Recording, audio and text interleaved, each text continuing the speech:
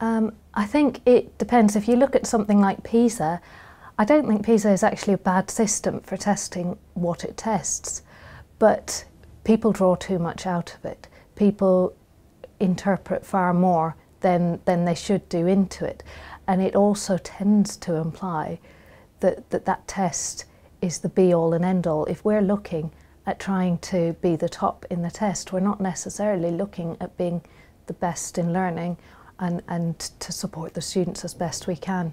It also means that some students are being pushed in a direction that they might be capable of, but they're not enthusiastic about, and it's not right for them, which I think is a very difficult line to draw. We've got to assess in a certain way, but I think perhaps moving a bit more towards a qualitative thing, as for example you have in a lot of the um, further education arts degrees, where it's subjective but it, and identifying areas for improvement, but it's not trying to make everything about the testing the be all and end all. It's about the process of learning and not that arbitrary endpoint.